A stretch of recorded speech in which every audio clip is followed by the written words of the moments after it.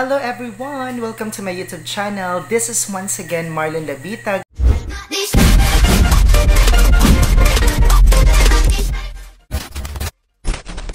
And you are watching the Pinoy Teacher Reaction. Yes, Pinoy Teacher Reacts naman po tayo edition. And noong mga nakaraang video natin is pinag-usapan natin yung mga kapamilya na lumipat sa kapuso and yung kapuso naman na lumipat sa mga kapamilya. So this time naman is we will be reacting and talking about kapamilya artists na uh, nag-choose na magstay sa kabila ng walang franchise ang kanilang network. And sino-sino sila? Ayan, excited na ako. Alam ko excited na rin kayo malaman sino-sino sila. So, ayan, panoorin na natin, guys. Liza Soberano, a Filipina actress and model. She started in a range of television series and films. Ilan dyan ay ang Once Upon a Time, Kung Ako Iiwan Mo, She's the One, at Must Be Loved. Sumabak din siya sa romantic comedy series na Forevermore kung saan doon na nabigyan ng malaking break ang kanilang love team ni Enrique Hill na ngayon ay kasalukuyang real-life partner na niya. Bumida din sila sa ilang mga pelikula under ABS-CBN Management and Star Magic na talaga namang masasabing nag-hit at pinakakatutukan ng kanilang mga solid fans. Naging isa din sila isa sa usap-usap kapanggaganap sana sa iconic role na Darna pero sa isang valid na dahilan about her condition ay di na naituloy ito. Bagamat walang kasalukuyang proyekto sa ABS, ay nanatiling solid si Liza sa nasabing istasyon at isa sa mga lumalaban para maibalik ang prangkisa para sa kanilang home network. Alam niyo yung nakakatuwa kay Liza talaga, no? Kahit na sikat na sikat na talaga siya, talaga kahit na-cancel yung show niya with Enrique Hill, hindi natuloy, but she still chose to stay talaga sa Kapamilya Network. Nakakatuwa, no? Talagang um, binalikan niya, talagang binalikan niya, binalikan niya ng magandang uh, buo, ano ba tayo, magandang loob yung uh, Kapamilya Network talaga. Kasi siya naman yun, no? Kapamilya naman talaga yung uh, nagbigay ng big break kay Liza Soberano. Nakakatuwa na from the very start na nawalan sila ng franchise, talagang lumalaban na to si Liza talaga. At kahit binabash na siya, no, binabash na siya ng mga marami dahil sa stand niya sa ABS-CBN, pero, oh my God, with with grace and with poise pa rin ang nag-iisang Liza Soberano talaga. No, kahit hindi man siya natuloy na maging Darna ng ABS-CBN, but she is still a Darna talaga. Superhero pa rin talaga, di ba? So, thank you for being a kapamilya. Loyal talaga. Ayan. Sino naman itong pangalawang loyal? Catherine Bernardo, ang masasabi yes. sa pangangalaga ng ABS-CBN Management. She started as a young child star under ABS-CBN when she first appeared at Going Bolivia. Dito din na-discover ang galing ni Catherine sa pag-arte dahilan para ibigay sa kanyang iconic role na Mara sa seryeng Mara Clara taong 2010 True. Sa Mara talaga siya nakuan. Sumika, tapos yun. Nagbida din siya sa napakarami pang TV series under ABS-CBN management gaya na lang ng Princess and I, Got to Believe, ang tatak na Of course, Catherine, ang big star na, box office queen, phenomenal din. She also started doing films gaya ng Way Back Home kung saan kasama niya dito ang best friend noon na si Julia Montes. Nandiyan din ang mga blockbuster movie nila ng nobyong si Daniel Padilla. Si John ang The House of Us na kumita ng napakalaki sa takilya. Bagamat Super. nagkaroon ng appearance sa GMA Network noong gumanap ito bilang young Marian Rivera sa sering Endless Love at nakapareha din ang kapuso actor na si Alden Richards sa isa pang blockbuster movie na Hello Love Goodbye, ay nanatili si Katrina nakapit sa ABS-CBN station at pinapahalagahan ang mga naituro ng istasyon sa kanya. Natumuhubugin siya bilang isang award-winning actress of her generation. Sa kasalukuyan ay balibalita ang nalalapit muling movie nila ng nobyong si Daniel Padilla. Ito din talaga, Daniel Padilla and Catherine Bernardo. My God, parang 'di ba sila yung mga big stars talaga ng ABS-CBN? At yung nakakatuwa kasi um despite na big stars na sila talaga, talagang um yung yung parang tinatawanan nila at tina, eh, ano yan parang tinatanaw ng utang na loob nila no yung ABS-CBN talaga no parang pinili talaga nila kasi parang narinig ako narinig ko na um, ano ba yung maitutulong nila sa kapamilya, 'di ba? Yun yung nakakatuwa na sa murang edad nila very uh, fresh, very bata, very young, pero ganun na yung values na na-instill nila sa mind nila, no? Ganun na yung mga uh, pag-iisip nila. Ang ganda, ang ang sarap pakinggan, no? Um, kasi ang, ang sikat na nila, mayaman na sila, 'di ba? So, kung may maitutulong sa kumpanyang nadapa, yun lang siguro yung pinaka magandang na ibigay nila, yung nagstay sila talaga. Kaya, to Catherine, my God, minahal kita ng lalo talaga. Grabe ka, Catherine. So, sino na naman to? Napapahanga sa murang edad noon dahil sa iconic years nito na napakabilis bumagsak na hinahangaan ng marami. Ito yung artistang masasabing laking ABS-CBN. Ito din talaga si Angelica Panganiban kasi parang may one time talaga na parang lilipat sana siya doon sa sa GMA, sa Kapuso, pero hindi talaga kasi nabigyan siya ng maraming projects ng ABS at ang gaganda ng mga projects talaga. Iba kasabayan niya si Camille, pero mas sikat si Camille noon eh. Kasi si Camille yung nabibigyan ng magagandang pro, parang supporting role din siya. Pero, my God, when Angelica prefer to stay talaga, prefer to stay talaga, yun, malaking bagay. Big break talaga.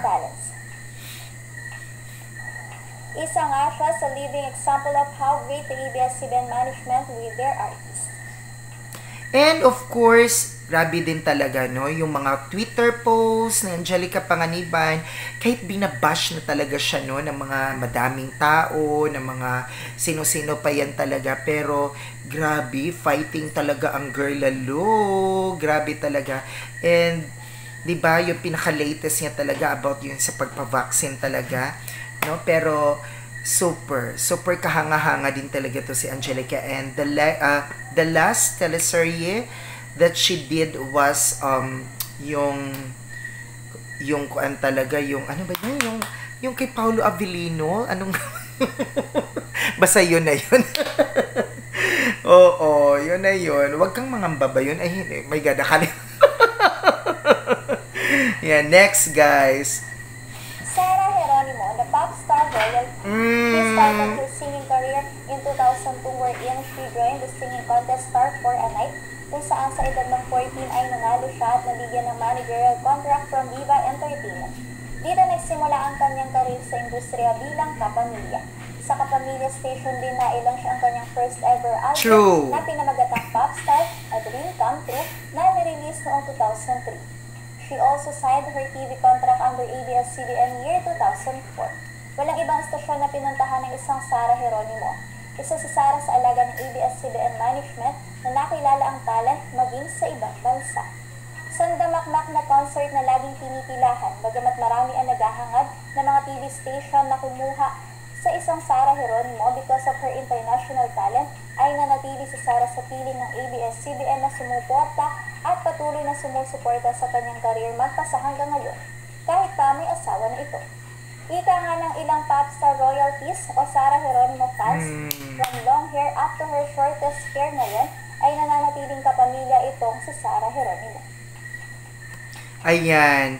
Alam mo, ito din si Sarah talaga, parang, parang binibigyan niya ng benefit of the doubt, yung mga tao talaga, yung mga fans, kung lilipat ba si Sarah or magsistay ba siya sa Kapamilya Network kasi 'di ba parang naka anong tawag nito naka-break 'di ba? Parang nag-rest muna ang isang Sarah Hiron hindi natin siya nakikita sa sa ASAP. Kaya lumakas yung bulong-bulungan na baka lilipat talaga. And yung nakakatawa talaga is yung pinaka-latest kasi yung latest concert niya, yung digital concert niya talaga, is pinalabas sa GMA. So yun, lumakas na naman yung bulong-bulungan na baka ang isang Sarah Geronimo is lilipat nga ba talaga sa, sa Kapuso Network. Pero, nung last Sunday, my God, trending na naman and marami ang natuwa kasi si Sarah is of course isa sa mga nagbigay ng message no sa sa kapamilya talaga when they um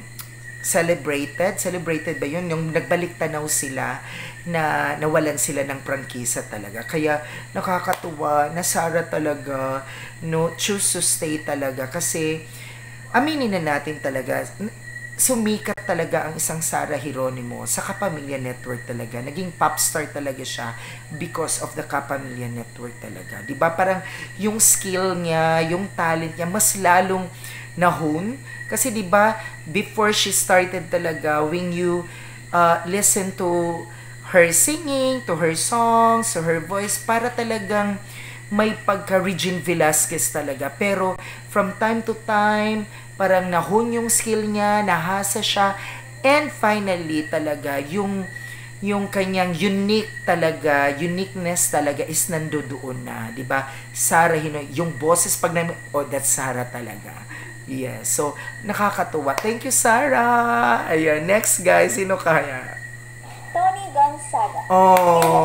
Because of her YouTube channel na may theme na Tony Talks, wherein ang purpose is to tell inspiring stories about the celebrities that we idolize. Bagamat nagsimula ang kanyang showbiz career under GMA Network taong 1998 hanggang 2004, ay mas tumagalang pamamalagi ni Tony sa ABS-CBN na magsimula ito noong 2005 hanggang ngayong kasalukuyan. She really can say na pinalawak ng ABS-CBN ang kanyang talent. Noon nga kasi akala ni Tony na sa pag-arte lang siya magaling. Pero as she entered the ABS-CBN management, dito niya na ipakita ang kanyang talento sa pag-awit. Lalo na ang kanyang pinapangarap na maging isang award-winning host. Hinahangaan si Tony dahil sa pagiging flexible nito as an artist. Na di naman niya tinatangging malaki Ayan, yun yung nakakatuwa din guys, no? Of course, hindi magiging isang Tony Gonzaga kung hindi siya lumipat. Although, nakikilala na siya because of the Itbulaga, no? Pero, pero mas sumikat talaga siya. Mas nakilala talaga siya doon talaga sa ABS-CBN talaga. Di ba nabigyan siya ng title, ng multimedia star, tapos yung mga box office hits niya, naging box office queen pa siya dahil sa pelikula nila Piolo Pascual, grabe kaya siguro parang tinatanawan din ng utang na loob talaga ng isang Tony Gonzaga no ang ABS-CBN din talaga kasi I mean na ABS naman talagang nagpasikat talaga kaya nakakatuwa na nag-stay din talaga si Tony talaga. Meron na nga siyang Tony Talks, 'di ba? May YouTube siya tapos ano pa yung parang binigyan din siya ng ng show, digital show ng ABS-CBN. So nakakatuwa talaga. Natutuwa lang ako kasi I'm a kapamilya by heart lang. na itong mga big names ng art, artista talaga no ng ng kapamilya talaga is nagstay talaga. So as a fan, parang nakakatuwa na, uy, nagstay siya talaga, di ba? Nakakatuwa, uy, nandiyan pala siya. Tapos masasaktan ka kapag lumipat sila. Pero, gano'n naman talaga yung buhay. May lipatan, may balikan. O, di ba? Sana all binabalikan. Ayan, guys. Um, Uh, nice ko lamang i-shout out, of course, ang video po nito kasi ang nagmamayari nito. Please subscribe po. Showbiz News Update po, guys. Please do subscribe her YouTube channel. Ayan, heme, hanggang sa muli, abangan nyo po ang ating next, next, next, next, next na your reaction. Heme, heme, heme, mwah. Shout out to my ka-family! Please subscribe all my ka-family members' YouTube channels. Click their links below in the description of this video. I love you!